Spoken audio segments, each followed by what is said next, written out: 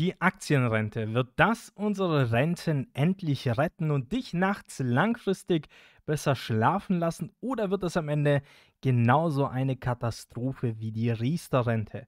Vor den Wahlen war ja einiges über das Großprojekt der FDP über die Aktienrente an sich zu lesen. Es sollte endlich unser umlagefinanziertes Rentensystem auf ein zusätzliches Bein stellen. Bisher war es jedoch relativ ruhig um das Projekt geworden, doch vor wenigen Wochen haben wir ein Lebenszeichen gesehen. In diesem Video möchte ich dich bereits vorab aufklären, wie du von der Aktienrente an sich profitieren könntest und wie diese überhaupt ausgestaltet werden kann und zwischendurch und auch am Ende gibt es mal immer wieder meine persönlichen Senf dazu, um euch so ein bisschen auch mehr Detailwissen zu ermöglichen. Zunächst der Blick auf die aktuellen Informationen, die wir bisher gesehen haben. Und hier fangen wir mit dem wissenschaftlichen Beirat des Finanzministeriums an. Der hat nämlich der Politik empfohlen, verstärkt auf eine kapitalgedeckte Rente zu setzen. Der wissenschaftliche Beirat besteht im Übrigen aus Ökonomen und ist zwar an das Finanzministerium gewissermaßen angebunden, handelt und empfiehlt jedoch unabhängig von diesem. Schauen wir uns zunächst also genau diesen Bericht an und diese Studie. Grundsätzlich schlägt der Beirat ein Modell nach schwedischem Vorbild vor. Das heißt, dass man einen staatlichen Anbieter ähnlich wie die Bundesbank schafft und installiert und diese neue Institution übernimmt dann die Verwaltung und die Investition von dem Kapital, was dann aufgesammelt wird. Wichtig ist es dem Beirat, dass dies genauso wie bei der Bundesbank streng von der Politik getrennt wird. Es darf niemals zu der Situation kommen, dass die Politik entscheiden kann, wohin das Kapital investiert oder das Kapital sogar zweckentfremdet wird. Und das ist auch für mich einer der wichtigsten Punkte, mit dem für mich persönlich tatsächlich der Erfolg so eines Modells steht oder auch fällt, hätte die Politik auch nur irgendeinen Eingriff in die Entscheidung der Investitionsmöglichkeiten, kann man definitiv sagen, dass so ein Staatsfonds scheitert. Sei es weil es unsinnige Vorgaben gibt oder eben dann Gewinne für irgendwelche politischen Projekte abgezwackt werden. Das darf auf jeden Fall und unter keinen Umständen passieren, wenn man eine potenzielle Aktienrente tatsächlich einführen will. Zunächst jetzt aber noch etwas weiter im Text, denn an sich ist man sich bisher bei den Experten noch nicht ganz einig und noch nicht ganz sicher, ob es eine Zwang, also eine Pflicht wäre, in diesen Fonds einzuzahlen oder ob es nur freiwillig gestaltet werden soll. Zumindest nach dem schwedischen Modell wäre ein Pflichtbeitrag von knapp 2,5 Prozent des Gehaltes aber verpflichtend. Wenn aber so eine verpflichtende Teilnahme vorgeschrieben wäre, dann schlägt der Beirat an sich vor, dass man zumindest so eine Opt-out-Option bekommt aus diesem staatlichen Fonds. Wählt man diese Option, könnte man dann darauf basierend sich andere Privatanbieter suchen, die dann ebenfalls zertifiziert sind und auch bestimmte Vorgaben erfüllen müssen. Unter anderem, dass zum Beispiel auch die Verwaltungskosten sehr, sehr niedrig werden. Also wer sich mit ETFs auskennt, in gewisser Weise sollten diese Kosten auch tatsächlich nicht höher sein, wie bei einem ETF in der Regel anfallen, so irgendwie um die 0,3, 0,4 Prozent maximal. Die größte Überraschung war aber dann ein Kapitel am Ende des Gutachtens.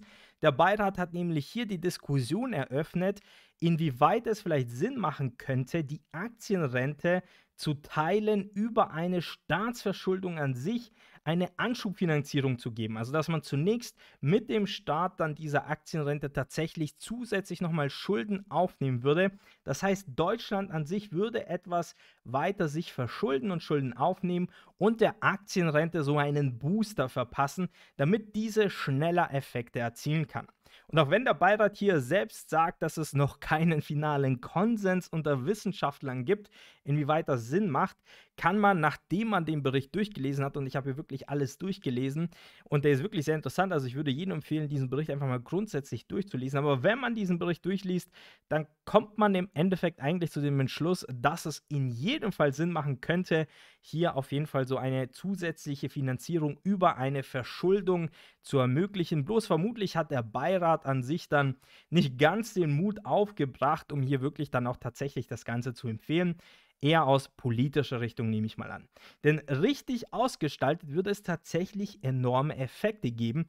Ich persönlich bin auch zum einen definitiv pro Aktienrente und auch definitiv für eine schuldenfinanzierte Aktienrente.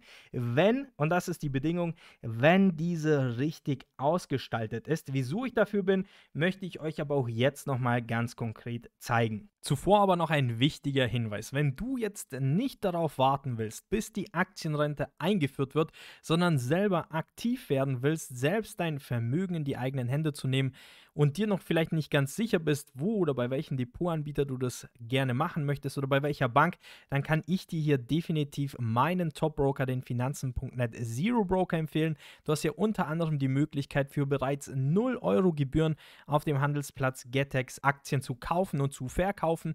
Und du hast jetzt auch mittlerweile die Option bekommen, wenn du eher so der Kryptowährungstyp bist und eher ein bisschen auch vielleicht deine Rente ein bisschen auch mit Kryptowährungen beimischen willst später, dann hast du jetzt auch die Möglichkeit, Kryptowährungen direkt dann praktisch bei diesen Anbieter ebenfalls zu kaufen zu handeln, einfach grundsätzlich. Und die Auswahl ist ja auch riesig. Du solltest das auf jeden Fall schon alleine ausprobieren, weil du eine Gratis-Aktie bekommst. Wenn du einfach mal das Angebot ausprobierst und einfach mal testest, ob das Ganze was für dich ist. Ich persönlich kann das definitiv weiterempfehlen. Und wenn du Glück hast, bekommst du vielleicht sogar eine Apple oder eine BioNTech-Aktie und hättest somit auch schon mal ein Startkapital, das sich dann über die nächsten Jahre und Jahrzehnte weiter verzinsen könnte. Folge hierzu auch einfach dem ersten Link unter diesem Video dann kommst du auch direkt zum Finanzen.net Zero Broker und diesem Top-Angebot, wo du dir eben diese Gratis-Aktie sichern kannst. Und jetzt zurück zum Video. Und fangen wir hier zunächst einmal mit dem ersten Argument an, der vielleicht so ein bisschen gegen eine schuldenfinanzierte Aktienrente sprechen könnte und auch so ein bisschen Angst schüren könnte, nämlich unsere Staatsverschuldung in Deutschland. Wir wissen, dass der deutsche Staat ja verschuldet ist und eine weitere Staatsverschuldung wäre ja verheerend für unser ganzes System und auch für uns persönlich, oder? Nun, wenn wir uns die größten Volkswirtschaften weltweit anschauen, also USA, Japan, Frankreich, Großbritannien und Italien, ich nehme jetzt mal China und Indien außen vor, weil diese Wirtschaften an sich noch eine ganz andere Dynamik haben. Also wenn wir uns einfach nur auf die größten Industrieländer der Welt beschränken, dann sehen wir, dass Deutschland eine Schuldenquote von 69,3% hat und damit extrem gut dasteht. Bis auf Großbritannien liegen alle Länder mit ihrer Verschuldungsquote bezogen auf den BIP über 100% und auch Großbritannien liegt nur unwesentlich drunter. Und im Falle von Japan können wir auch sehen, dass eine sehr hohe Staatsverschuldung nicht immer automatisch und zwangsläufig zu einer wirtschaftlichen Katastrophe führt. Vielmehr ist die Frage, wie sinnvoll die Schulden verwendet werden und wie diese finanziert werden. Und eins muss ich ganz klar sagen, wenn es hier alleine nur darum gehen würde, die Verschuldung hochzuschrauben um irgendwelche Wahlgeschenke zu verteilen und sinnlos irgendwie Geld auszugeben und aus dem Fenster zu werfen, dann wäre ich definitiv ganz klar gegen eine Zunahme der Staatsverschuldung. Aber mit einer staatlich finanzierten Aktienrente würden wir das Geld ja nicht einfach ausgeben, sondern wir würden uns in der Aktienrente Assets kaufen. Das heißt, unseren Schulden würden gleichzeitig Assets gegenüberstehen. Wir würden also einige Milliarden an Schulden aufnehmen und gleichzeitig genau diese Milliarden, die wir als Schulden aufgenommen haben, wieder reinvestieren. Sowas machen ja Unternehmen an sich sehr, sehr gerne. Nur der deutsche Staat ist ja an sich kein Unternehmen, sondern er könnte jetzt erstmalig tatsächlich mal Geld aufnehmen als Kredit und sinnvoll investieren.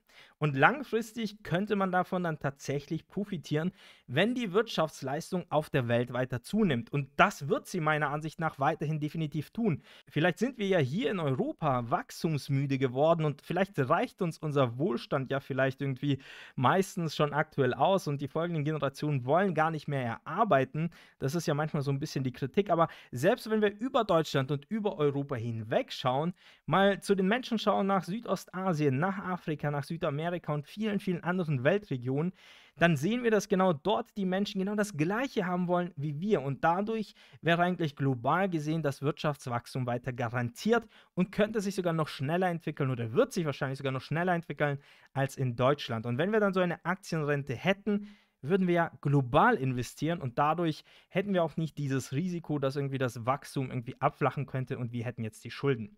Hier jetzt aber mal ein ganz konkretes Beispiel. Im Bericht des wissenschaftlichen Beirates steht zum Beispiel eine Verschuldung von 35% gegenüber des BIP als langfristige Verschuldung in der Aktienrente. Einfach mal als Beispiel von diesen Experten angenommen. Im Jahr 2021 hatte Deutschland ein BIP von 3,6 Billionen Euro. Würden wir davon 35% sofort in eine Aktienrente packen, müssten wir zunächst einmal neue Schulden in Höhe von 1,26 Billionen Euro aufnehmen. Danach würden wir im Übrigen eine Schuldenquote von etwa 100% gegenüber des BIP haben und würden damit aber immer noch besser dastehen als viele andere Volkswirtschaften der Welt. Wir würden aber gleichzeitig das Geld ja nicht einfach ausgeben, wie genau diese Volkswirtschaften ja oftmals machen, sondern wir würden dieses Geld investieren und hätten, wie gesagt, schon Assets dem gegenüberstehen. Nehmen wir jetzt einfach mal an, wir würden 1,26 Billionen Euro aufnehmen. Aktuell zahlt der deutsche Staat für seine 30-jährigen Anleihen 1,7 Prozent. Das klingt wenig, war in den letzten Jahren aber bereits oftmals negativ. Das heißt, der deutsche Staat hätte Geld dafür bekommen, sich zu verschulden in den letzten Jahren. Nun haben wir jetzt dieses Jahr oder in der aktuellen Phase nicht mehr diesen Luxus, können aber trotzdem mal mit der aktuellen Situation das Ganze durchrechnen. Dadurch, dass wir die Staatsverschuldung dann zunächst einmal hochschrauben müssten, müssten wir auch tendenziell etwas mehr dafür zahlen als aktuell ja, wir zahlen müssen mit diesen 1,7 Prozent. Nehmen wir mal hier einfach an, wir würden 2 Prozent dann im Endeffekt zahlen müssen. Frankreich zahlt jetzt im Übrigen 2,6 Prozent und hat eine Staatsverschuldungsquote von über 112 Prozent. 2 Prozent unsererseits wären hier daher meiner Meinung nach definitiv realistisch weil mit unserer Staatsverschuldung ja im konkreten Fall harte Assets dem gegenüber gekauft werden würden, die dann ihrerseits langfristig dazu führen würden, dass der Staatshaushalt weniger belastet wird, weil weniger aus Steuermitteln an Pensionen oder Rentenzuschüssen dann langfristig gezahlt werden müssten. Wären wir im Übrigen schlau gewesen, hätten wir das gleiche machen können wie Österreich vor einigen Jahren und eine 100-jährige Anleihe mit 0% Zinsen ausgeben können, aber sei es drum, wir sind jetzt nun mal ein bisschen in einer anderen Situation. Der einzige Punkt, der höchstens noch mal hochploppen könnte, wäre bei dem gigantischen Volumen natürlich, dass wir uns von den Finanzmärkten holen könnten. Und wenn die Marktbreite dann in diesem Moment nicht da wäre, heißt es, dass wir eventuell diese 1,26 Billionen einfach über mehrere Jahre aufnehmen müssten an sich und es nicht auf einmal sofort auf einen Schlag oder nicht in einem Jahr funktionieren würde. Aber am Ende würde das auch zu keinen gravierend anderen Ergebnissen unterm Strich führen. Kommen wir jetzt eher zu der interessanten Frage, wie man diese schuldenfinanzierte Investition tätigen kann und welche Rendite auch entsprechend daraus entspringen könnte für diesen Staat aus Gesamtsicht, beziehungsweise es ist ja nicht dem Staat dann am Ende, sondern jeder einzelnen Person in Deutschland. Das Erste, was wir uns anschauen müssten, ist, dass der Staatshaushalt durch diese Neuverschuldung definitiv nicht belastet werden soll. Und wenn wir aktuell ein Coupon daher Zinsen von etwa 2% zahlen müssten, müsste man dann entweder zum einen die Steuern erhöhen oder irgendwie die Abgaben über die Rentenversicherung erhöhen oder man hat eine andere Möglichkeit und gibt einfach eine abdiskontierte 30-jährige Anleihe aus. Das heißt, man nimmt zwar 1,26 Billionen Euro als Schulden auf, sozusagen mit einer 30-jährigen Anleihe, zahlt über den gesamten Zeitraum aber überhaupt gar keine Zinsen, sondern zahlt den vollen Betrag, also diese 1,26 Billionen, mit einem Schlag am Ende der Laufzeit zurück. Damit würde man zunächst einmal in der aktuellen Phase 696 Milliarden Euro einnehmen überhaupt keine Zinsen zahlen und erst nach 30 Jahren dann alles zurückzahlen müssen, aber dann, wie gesagt, entsprechend 1,26 Billionen. Das heißt, die Finanzierung würde dann den Staatshaushalt zunächst einmal gar nicht belasten. Man hätte aber zusätzliches Investitionsvolumen, mit dem man künftige Rentner entlasten könnte. Künftige Rentner jetzt in dem Fall, weil das Kapital ja zunächst an der Börse investiert werden muss und Renditen erst generiert werden müssen. Und für die aktuellen Rentner hätte es auch keinen Nachteil, weil sie an sich dadurch nicht weniger erhalten und auch der Staatshaushalt nicht irgendwie belastet wird. Der Sinn liegt eher darin, dass die künftige Generation, also erst die Personen, die erst in den nächsten Jahrzehnten die in Rente gehen, überhaupt selbst für sich eine Rente beziehen können. Denn wir wissen ja ganz genau, dass wir in dieser umlagefinanzierten Rente aktuell ein großes, großes Problem haben, dass eben zukünftig immer weniger Beitragszahler und immer weniger Angestellte im Endeffekt dann die Rente finanzieren müssen von den künftigen Rentnern oder von den Rentnern, die jetzt oder in den nächsten Jahren in Rente gehen. Das heißt, wir müssten unser System erstmal auf die Reihe bekommen, dass vor allem erst die nächsten Generationen, also die, die wirklich erst in einigen Jahrzehnten in Rente gehen, dass sie überhaupt eine Rente sehen und überhaupt an sich mit einer Rente rechnen können. Schauen wir uns jetzt die langfristigen Rendite an den globalen Aktienmärkten an, dann liegen diese irgendwo bei 8%, so ganz grob über viele, viele Jahre und Jahrzehnte mal im Durchschnitt gerechnet. Aber sagen wir einfach mal, die Börsen laufen schlechter als in der Vergangenheit und es gibt irgendwie nur eine 5%ige Rendite pro Jahr weltweit. Nun, nach 30 Jahren hätten wir dann aus 696 Milliarden Euro 3 Billionen Euro gemacht. Wir könnten dann auf einen Schlag diese fälligen 1,26 Billionen zurückzahlen und hätten tatsächlich immer noch zusätzlich 1,74 Billionen Dollar in der Aktienrente zur Verfügung. Bezogen auf den gesamten Staat und den Haushalt hätte so ein Vorgehen an sich also keine Nachteile, was auch einfach daran liegt, dass die Renditen an den Aktienmärkten in der Regel und über die letzten Jahrzehnte und auch die letzten 200 Jahre immer höher waren als die aktuellen Renditen die wir bei den Staatsanleihen sehen. Wenn wir wirklich eine mutige Reform unserer Renten anstreben und die kapitalgedeckte Rente zu einem genauso großen Fuß aufstellen möchten wie unsere umlagefinanzierte Rente, dann könnten wir tatsächlich auch für die Generation, die erst in 20, 30, 40 Jahren in Rente gehen, eine sichere Rente aufbauen und zugleich den Staatshaushalt langfristig entlasten, weil dann eben viele Rentner, die vielleicht erst in einigen Jahrzehnten in die Grundsicherung fallen würden, weil sie eben nicht genug verdient haben über ihr Arbeitsleben, dann ebenfalls ein zusätzlicher Baustein besteht, um diese dann mit dieser Aktienrente auch ja, zu finanzieren. Wenn es wirklich dem Staat gelingt, sich zu verschulden in diesem Sinne, aber gleichzeitig aus diesen Schulden dann gewissen Personen oder allen Personen in Deutschland so einen Grundstock zur Verfügung zu stellen. Der wissenschaftliche Beirat hat auch errechnet, dass man mit etwa 18% mehr Rente rechnen könnte und je mutiger wir das Ganze angehen und je später man selbst in Rente geht, desto größer wäre der Effekt. Also für deine Kinder oder vielleicht für deine künftigen Kinder, die vielleicht auch erst geboren werden, hätte dieser Effekt nochmal eine deutlich größere Bedeutung. Aber leider habe ich Bedenken, dass es überhaupt zu irgendeiner Reform kommt. Leider fehlt in Deutschland oftmals wirklich grundlegende Bildung, wenn es um das Thema Finanzen und Wirtschaft geht. Und das schließt auch unsere Spitzenpolitiker leider nicht im geringsten aus. Richtig gestaltet könnte die Aktienrente tatsächlich ein neues Versprechen an die künftige Generation geben, dass die Renten eben doch sicher sind. Leider habe ich persönlich eben wenig Vertrauen in die Kompetenz unserer Politiker, das Thema anzupacken. Zusätzlich fehlt aber auch einem Großteil der deutschen Bürger Grundlagenwissen bei genau diesem Thema, weswegen man ganz leicht mit schlechten Beispielen und ideologischen Grundsätzen das Thema vergiften kann. Fakt bleibt aber, dass der Kapitalmarkt die letzten 200 Jahre mehr Rendite abgeworfen hätte und hat als das, was wir jetzt über unser umlagefinanziertes System generieren können. Mich würde es freuen, wenn die Kinder, die morgen oder übermorgen geboren werden, 10.000 Euro auf ein Aktienrentenkonto eingezahlt bekommen würden und nach 70 Jahren und nach Abzug der Inflation als Millionäre in Rente gehen könnten. Egal, ob diese begabt oder unbegabt geboren wurden, egal, ob aus einem reichen oder armen Elternhaus, egal wie benachteiligt oder privilegiert das Kind geboren wäre, mit 70 Jahren könnte dieser Mensch Millionär sein und tatsächlich sind das keine utopischen Rechnungen. 10.000 Euro für jedes neugeborene Kind als Startkapital wäre auf jeden Fall drin, wenn wir unser Rentensystem reformieren würden. Und wenn man 70 Jahre lang das Geld anlegt, kommen einfach nun mal durch diesen Zinseszins- und Renditeeffekt genau solche enormen Summen heraus.